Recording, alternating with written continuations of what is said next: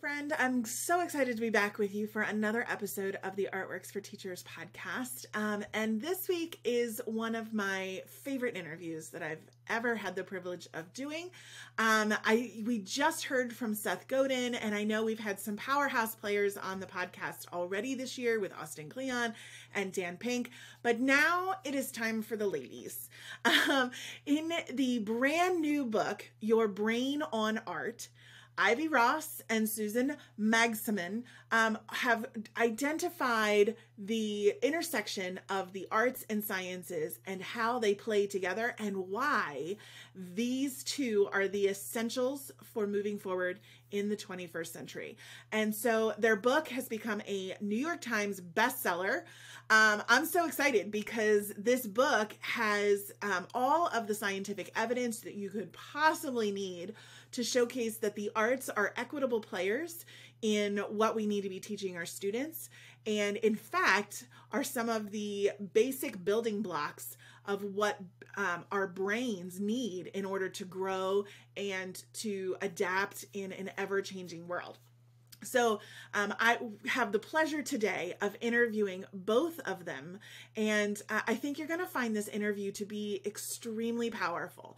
Not only because um, these ladies are super intelligent and have um, such an amazing background and understanding of how the arts um, have impacted humans and where we're going, but also because the genuine kindness and their their desire for everyone to be artists and to allow this medium to become the thing that we need to grow as a society is potent.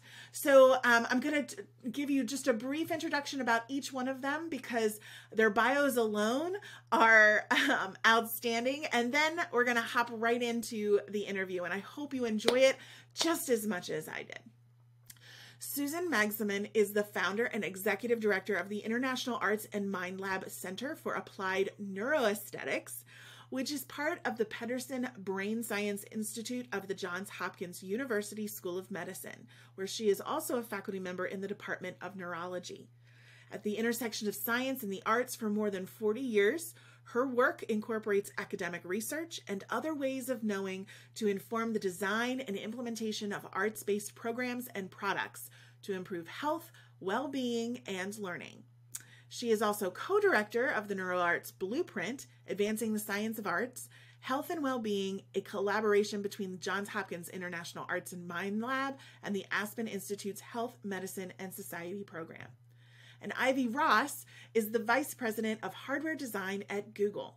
Ivy and her team created the design language for the Google hardware products that launched in 2017, winning over 240 design awards over the last three years.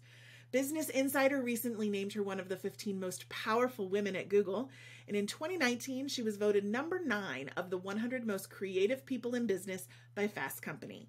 She was featured in Surface Magazine issue on barrier breaking figures in 2019, and previously she had held executive positions ranging from head of product design and development to chief marketing officer and president of several companies, including Calvin Klein, Swatch, Coach, Mattel, Bausch & Lomb, Old Navy, and Gap.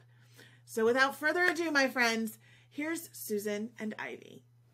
All right, well, welcome, Susan and Ivy. I'm so glad you're here today. So glad to be here. Thank, Thank you. you. for having us. Absolutely. So, um, for people who may not know you, let's just get started with the fact that you wrote this brilliant new book called Your Brain on Art. Um, and I would love to hear a little bit about each of your backgrounds and what made you decide to write this book now. You want to start, Susan, then I'll go? Sure. So um, my background really started um, in uh, early childhood and the arts, early childhood development and the arts, um, sort of as an official uh, field. Um, I did a lot of work um, starting in the 80s um, in working with this idea around arts integration and arts for early childhood development, but also arts for learning in the classroom. I started a company called Curiosity Kits, which really looked at arts, sciences, and world cultures. And then in the early 2000s, um, I was invited by Johns Hopkins to start something called the Neuroeducation Initiative, uh, which is still happening. Um, and the idea was to try to understand how the arts affected learning um, at a neurobiological level. And then that sort of grew and has progressed. And um, the School of Medicine had a unique opportunity from a donor to study how the arts changed our brains and bodies for health and well-being. And so, um, you know, School of Medicine was like, hmm, we don't really know a whole lot about that. Um, but we know somebody that might be interested in thinking about it. So they invited me to meet the donor, and she said, I believe that the arts can really save the world. And I said, I know they can. We've seen it. We see it over and over again. And understanding how that works and translating that work into practice was really important. And so since about 2006, I've been working at the School of Medicine, started something called the International Arts and Mind Lab. And then a little bit later in 2019, um, uh, started to work with the Aspen Institute to really, we really felt that the field was ripe, that arts was showing up all over the world, everywhere in research and practice and health and well-being and public health. And so launched something called the NeuroArts Blueprint. But along the way, I had reached out to Ivy in like 2017, 18, set that area, uh, because we have something called the Luminary Scholars and uh, it's a group of people who do amazing things in the world through the lens of arts and aesthetics. And that could be as a researcher or as a person in the field, like architects or writers, um, uh, musicians. And I had known Ivy's work for a long time, at, especially at the work at Mattel, where she was the head of girls' products. And I like to say this, like what caught my eye is that Ivy um, really had a way of working with her team that promoted collaboration and creativity. And I later learned that Ivy was the person that wanted Barbie to have sneakers. So then I fell in love with her. uh, yeah, and um, and my background is being a maker and a designer. My work is in 12 museums around the world because I started as a making things with my hands and understanding how the. I was so glad for that because I could feel the hand-brain connection I went to a specialized high school of art and design, and I instead of the football club, there was the art club, and I taught art to elementary school students. So I was always very interested in bringing the arts in at an early um, age. And then I went off on my career working for companies um, in design departments from 100 to 500 people, really um, amplifying how creativity happens among humans. Um, and so when Susan called me to say, you know, I've been, she said, I've been following your career for 25 years. I said, that's called stalking. And then when I got over that, uh, she said, you know, we're now, uh, science is now proving how the arts and aesthetic experiences change your brain and body. And I said, I know that. And, and I said, oh my God, but the world does not. And mm-hmm. how fantastic that it can now be proven because we can get inside people's heads. And I'm in. And then we, Susan came to my house, we created a salon between artists um, and neuroscientists to have some kickoff conversations. And we like to say we curated like Noah's Ark two dancers, two singers, two painters, two of everything, and at least two neuroscientists. And at the end of that session, Susan looked at me, and it was really uh, incredibly inspiring. She said, I've always wanted to write a book on this subject do you want to do it with me? And I said, yes, this is the book I've been waiting for. So mm. we basically did it during COVID, which was a gift because I didn't have to drive to Google four hours, three to four hours a day, so we could do it in the mornings. It was great. That's wonderful. So, can you tell can you tell our audience just a brief synopsis um, of the book and what you're covering in there, so that they understand and I, and I get it, but I wanted them to really understand the connections that you're finding between our our brains, our bodies, and the arts. Sure. Maybe I'll start and Ivy can jump in. You know, we, we really thought it was important to to explain the the neurobiology of how we are literally wired for the arts. And so um, the, the definition of neuroaesthetics is the study of how the arts and aesthetic experiences measurably change the brain, body, and behavior. And importantly, how that knowledge can be translated into specific practices that advance our health, our learning, our well-being. In the field, it's called neuroarts, really, really an emerging field.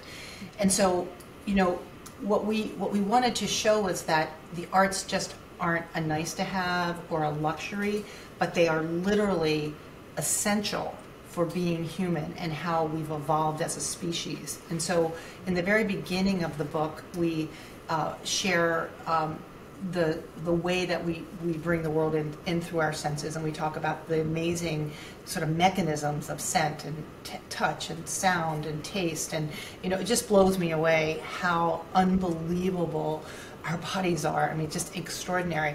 But the way that information comes into our bodies um, is picked up through the 100 billion neurons that we're born with. And I was just telling you that, you know, we just had our first grandchild, and we are, my husband and I are literally watching her bring the world in and start to make these synaptic connections and make these neural pathways that make her think, move, feel, all those things that we all do.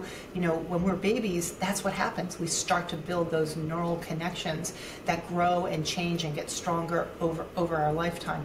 And it's because of these salient sensorial experiences that are um, highly resonant and, and they really turn out to be um, these what we call now arts or aesthetic experiences.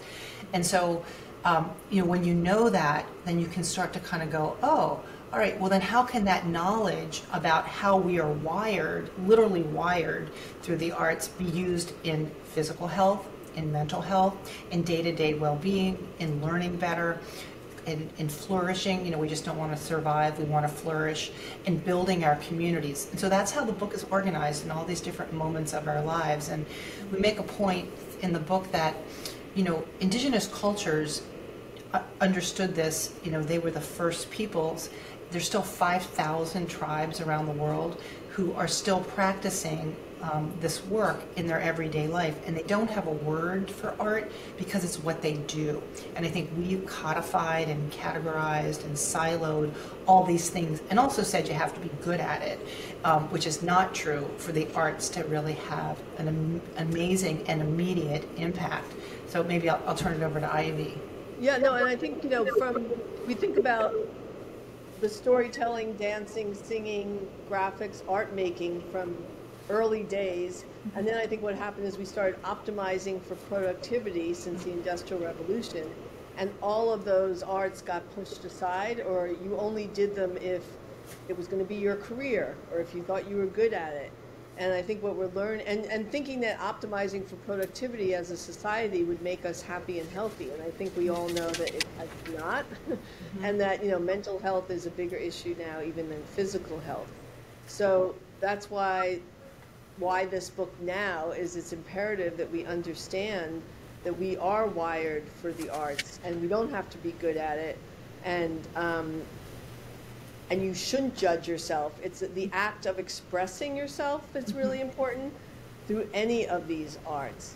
And, um, you know, Sir Ken Robinson was the one that went into schools, right? In kindergarten, who's an artist? Everyone's hand was up. By the time they got to third grade, no one's hand was up because some teacher or parent said, no, no, no, that's not the way you draw this, that's not the way you do that.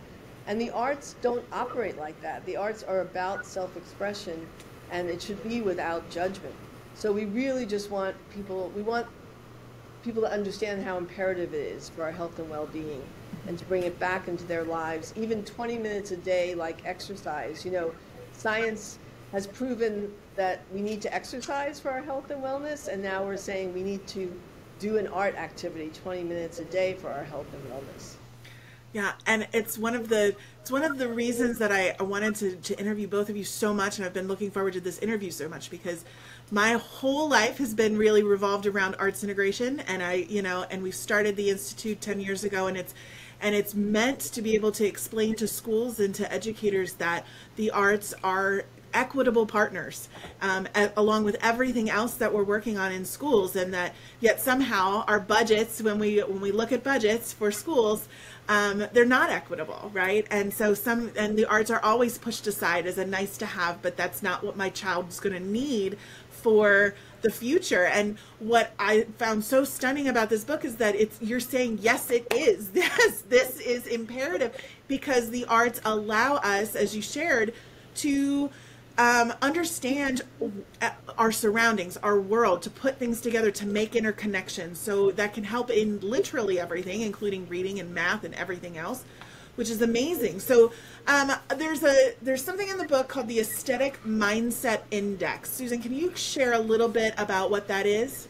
Sure, sure. So the Aesthetic Mindset Index is just a, a very sort of simple 14 question um, survey to calibrate where you are in your own sort of arts and aesthetic life. And so it, it, it, it asks questions about sort of are you a maker? Are you a beholder? Do you value sort of these sensorial experiences? Mm-hmm. Um, you know, and so it, it, it, culminates in a kind of a five point scale and it breaks down into three different categories so you can kind of see different different aspects. So you know it sort of calibrates you as a maker or beholder you as an appreciator you as just being um, intentional about bringing aesthetics into your life. And you can also go to your brainonart.com and do the uh, index and it'll do the math for you which is really good but you know what we say about the the aesthetic mindset um, experience is that it really comes down to four things that anybody can do anytime.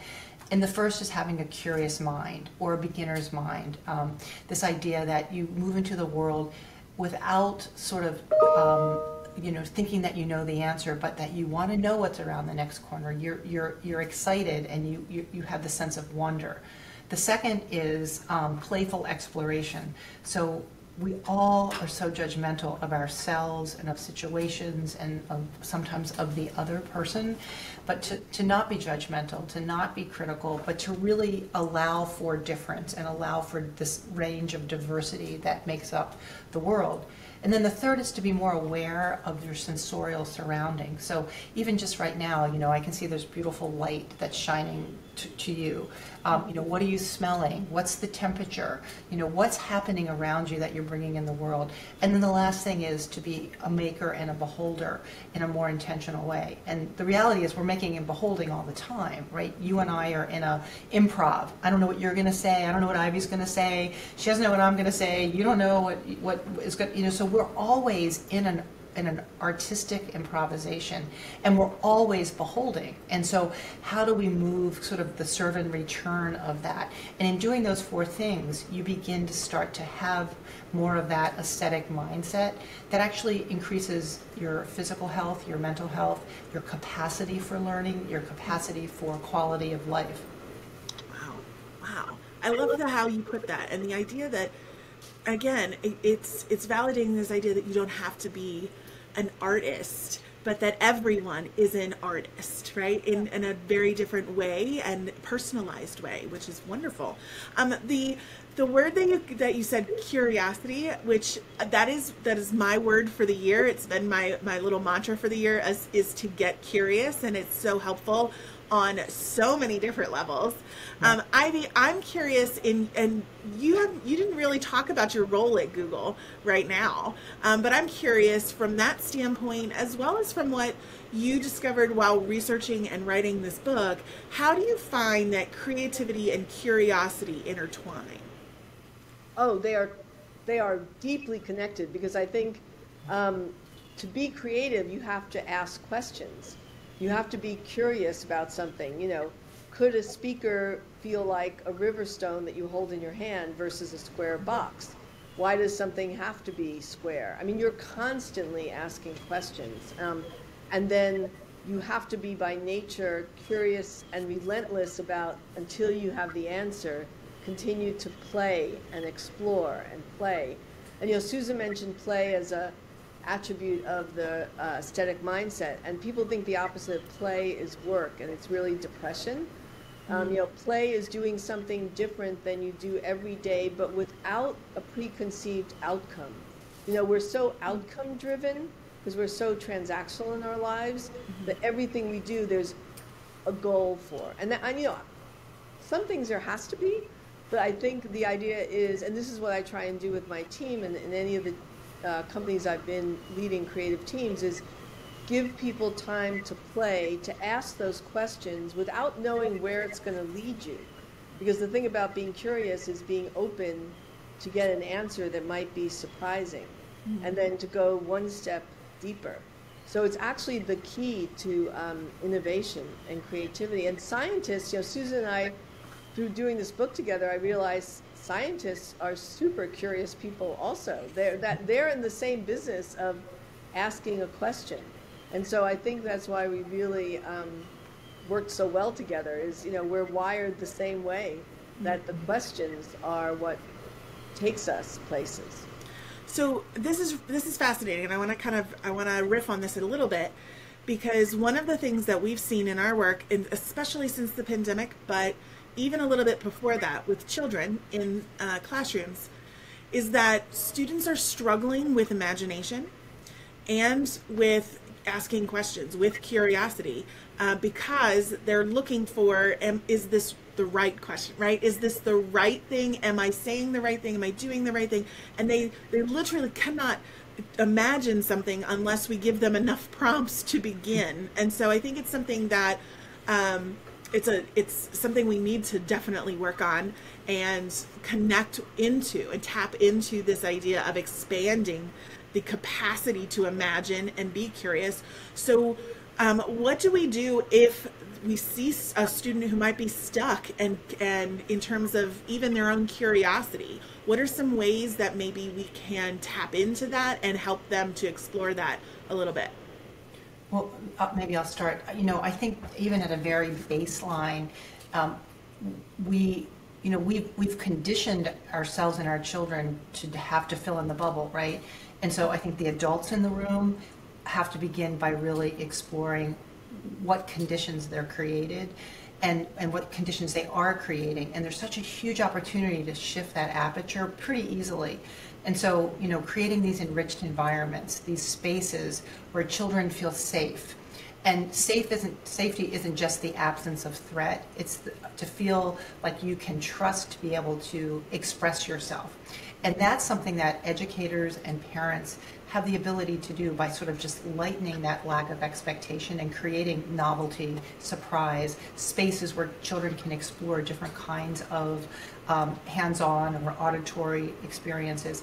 Something as simple as just doing, having a circle time where you're doing storytelling for younger children or drumming circles for older kids where they're able to synchronize and express themselves. But creating that, that play time, that open, open space, um, you know, we've done some really interesting um, work with psychiatrists and psychologists who use art to help children really process these complex stress emotions. And, you know, and when you're stressed, you can't create. When you're when you're traumatized, you really can't create because all your energy is going to that fight, flight, or freeze space. And so there's a guy named Jim Gordon who's been doing some interesting work here around imagination, and he has a simple drawing technique that um, it starts by you drawing yourself and then you draw the problem that you have, and then you draw the solution. And by not putting words to it, but, but just building symbols and metaphors, it's amazing where that work goes. And he's doing that work in, in um, the Ukraine, he's doing it in Syria, he's doing it in places where there is such trauma um, and so I think thinking about those kinds of activities, you know, um, visual arts turns out to be very helpful for kids that are having trouble expressing their imagination. Because the thing about art making is, especially visual arts or expressive writing, where you can also write something and lower your cognitive load just by getting something out, is you have agency. Nobody can do it take that away from you. No one can tell you what you are going to create. And that agency also fuels imagination. And I think, you know, you in school, there's been this thing about you don't want to seem stupid by asking a silly question. Mm-hmm. So it's almost creating an environment where there is no silly question or there is no right answer. You know, there, in improv, there's something yes and. Mm-hmm. And I always bring an improv artist into my teams to, for people to understand, like, that's where creativity is. People should throw out questions, ideas, and not, it's not stupid. It's like it takes you to where you need to go. And so I think creating the environment where the teacher sets up where ask questions. Let's get to let's get to this place differently and and really that there's no wrong answer. I think as Susan said, we've been trained in school through this right answer, fill in the bubble right, memorization and and what you're describing is a problem that I think comes out of that because then kids don't know how to they just memorize the answer. They don't know how to really embody the information um, and think for themselves. And you know, it's so important what you say about imagination because AI is going to start to do some of the basic functions, the thinking, some of the math, some of the basic things. And so it's really important that we focus on what we, I think it's going to force us to be more imaginative. What is it that only humans can bring to the party and co create? If we're going to, if some of these base things that we've learned through memorization is going to be done for us, what is it that we are going to co-create with these machines? Well we have to amplify our imagination to build on top of that. Like i know for some people it's very hard because they can't even imagine what's our role but that's mm-hmm. because we don't even yet know what it'll be because we have to create it. But to create it we have to be imaginative. And so i love that what you're saying about uh, it is what we have to do for our children is teach them how to be imaginative and imagine the possibilities and then we'll get there as a species. And maybe just a shout out to, you know, teachers are so stressed and they're so burned out and they've really come into the come out of the pandemic into the classroom with a lot of behavioral challenges. Kids are really um, dealing with a lot of mental health issues. Families are really struggling. And so teachers also need self-care and they need art to help process all the things that they're having experiencing too. And so i think this, this idea around how do you use the arts for trauma informed care for the the teachers is also really important work. Absolutely. Yeah, it's no different than like Susan and I spoke at a hospital. You know, you have to take care of the patients and then the um, the healthcare workers, and then you know, some hospitals they're doing recharge rooms. that are very neuroaesthetic focused to mm-hmm. where can that person go and get recharged to go back out um, and work with patients for just 15 minutes. For just yeah, 15 I, minutes. What a great idea! I mean, uh, what a great idea for schools to even be, be, thinking about where you would typically send a child who's having a behavior issue to the principal or to a timeout or space. Why not make that something more of a recharge area where i need to i need to process all of the things that are clearly going on right now right? Exactly. um, and give you a space to do that. What a what an incredible idea. I love that. Well to, um, to pick up on that oh, go ahead. part, of the, part of the problem with kids i mean Susan and I talk about if we got you know to rewrite the book of how we we don't even teach our kids sensorial literacy or we don't even teach them to express themselves. If anything, we tell them to repress it. And so what happens is that it just builds. And so then you you know and so somehow we have to start from the very beginning and and change the way that that self-expression is a good thing so that things don't get repressed and then build up to a place of no return. Mm, absolutely. So um, I'm curious about in the book, what was some of the most surprising? What was something that was super surprising to you that came in based on the research and, and as you were lo- working through um, your thesis on here? Well, I think one of the things relating to learning is that when children are using musical instruments or, you know, in a music with other children, um, there's actually some really beautiful fMRI work that shows that brain mass, the cerebral cortex, is actually getting larger. Um, and that, by as much as 6%, which is huge, and that there's greater neuroplasticity, so there's more neural pathways being built. And also that the, the sheath around those neural uh, neural pathways. It's called it's called myelination. It's like a fatty tissue that goes around the nerve, actually gets stronger. So that means that you're thinking faster. Things are moving faster in your brain, and so you're literally changing structural elements in the brain by using these kinds of arts experiences. We also know that kids, um, we saw that kids who are doing an art experience make better decisions, they stay in school longer, they have better outcomes. So the epidemiology work was very definitive alongside of the neurobiological work. Um, I think one of my biggest takeaways still is that as someone who's not good at any art form but does them every day, is that you don't have to have talent in order to be or be gifted in order to have great impact from doing these things. And that's liberating. Um, so one more thing. We were at a conference last week and we were talking about doodling and how you know doodling is something that actually helps you recall and retrieve memory. It makes you listen better. It actually provides greater attention benefits. And i was at a meeting where i told the people that i was talking i'm going to talk i'd like you to doodle. And at the end i had two grown men come up to me and said, I cried when I did this because as a kid I wasn't allowed to doodle, and I'm now mm. understanding that I needed this, and it was I was so shut down, and I think we have generations of people who are starting to mm-hmm. feel that. Absolutely. Yeah, Susan took the. I was going to talk about the doodling one because, and there's been a couple of things I learned along the way. That's the tension of opposites. For example, that dance helps Parkinson's patients. You know, some things that seem mm-hmm. counterintuitive, doodling actually helps you retain the information you're listening to, versus you know, in, in school or in in uh, business meetings, people will give you a dirty look when you're doodling. It's like, are you not listening? So I love that what I learned is some of these things are, are counterintuitive, but absolutely, you know, scientifically backed. That is, I mean, it's fascinating to me. I always am so um, fascinated by what access point, which arts, I call it an arts access point, which arts access point is gonna is gonna be the one that triggers somebody to go, oh, I get it, like make the connections and have those um, those flow feelings of I'm in it. I can. This is where I'm supposed to be, right here. Um, and it's it's always interesting to me. I love the idea of this the tension of opposites um, because I think we so so often are. Um, afraid of pushing that boundary and it's definitely something we run into with teachers in in embedding the arts in their classroom the question of i'm not an artist so how can i um, support my my students if I myself am not an artist. But I think what's so beautiful about this book and what you share is that you don't have to be an artist.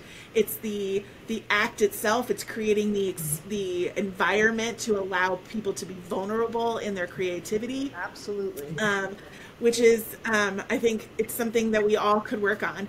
Uh, Susan, I want to touch on one more thing. You talked about the um, about teachers and their stress and overwhelm and this we're heading into summer um, and this is often a time when teachers will do the the recharge right? Um, hopefully cross fingers that they, they take the time to do that. What um, for for both of you what are some some ways that you would advise maybe teachers or adults who are interested in the arts but maybe are nervous because they don't think of themselves as an artist? What are some ways to get started to recharge their their batteries a bit Well, we, Ivy and I both think that nature is the most aesthetic art form. and so get outside, right? Put your hands in the dirt. If you're a gardener, you know, garden. Um, someone said to us, gardening is the slowest art form, and I love that. Uh, but really, you know, if you really want to lower cortisol and start to really reach homeostasis, nature is a miracle. It's just it's where we come from. It's what we know. I think that's a really important thing. Somebody gave me this advice this week, and I, I, I haven't had a chance to share it with Ivy, but I was like, I'm going to use this. It, this was the, the same question of, you know, what do you do when you haven't made art or you're afraid or you just need to recharge? And someone suggested that you go back to what you did when you were a child. What were the things that made you feel in that flow state? What were the things that offered wonder? And I think for us as adults, going back to remembering those things instantly, right? I can think I would looked at I looked at clouds and I made pictures, right? I made these bracelets and necklaces out of clover. Uh, you know, I, I took off my shoes. Um, you know, I played with clay. I've always loved clay, and clay turns out to be something that we all um, have the same level of dexterity in both hands, and it's a super kind of amazing phenomena that clay. And it's, it's when you think about it, clay is a very old, ancient material too. It comes from the earth. And so um, I think beginning to let yourself play around and go back to what it was that you get reconnect to yourself. Yeah, or if you can't remember that, I mean, the summer is the perfect time to uh, give yourself each week just try a different medium. Order some clay, and again, no judgment. The key is no judgment. Just play and have fun. Start to form it. See what comes out of your right and left hand and your conscious and unconscious brain working together. Um, you know, get a coloring book, and no one's looking, so you can even color outside the lines. You know. Um, I think I would do make my own summer program of you know once a week pick up one buy watercolors. I mean these things are not expensive and just um, or there's so much great information online. You could you could take a watercoloring color class mm-hmm. online and just play and take each week and try a different medium. And to your point, see which one gets you out of your monkey mind and your cognitive mind and where you get in that flow state where it's just you getting to know you better by by seeing what comes out on the page or comes out on the lump of clay. Mm-hmm. No one's looking. You don't have to show it to anyone. And just just it's a really beautiful process of getting in connected to yourself more deeply and clearing out a lot. Yeah, it reminds me of Julia Cameron's idea of going on an artist date. Take Yeah. yourself on an artist date once a week, um, which is it's that's a great experience, and I always love to do that in the summer. Um, perfect timing. So, where can people find out more about you, more about your book, and how can they stay in touch? Well, we have a website called yourbrainonart.com, and you can go to any of the social media outlets. Um, and we really try to share stories on a regular basis about things that people are doing, some of the research that's happening. So you can find Your Brain on Art on Instagram, on LinkedIn, and also on Facebook. And and I think that's those are really good places. And if you want to share a story or um, or you want to share some tips with us that you think have been helpful, you can go to the website and there's just an info at your brain on art. Send us a story, send us a question. We're happy to try to continue the conversation. Yeah, because we're collecting stories of how the arts have changed people. I think stories matter, so we'd love uh, to hear from you. And one thing on Instagram, it is your brain on art book because we couldn't get your brain on art. So everything else is your brain on art, you know, dot com or just your brain on art. But Instagram, it's your brain on art book. And on the website, we do post articles and things that we find interesting um, in this in this new field.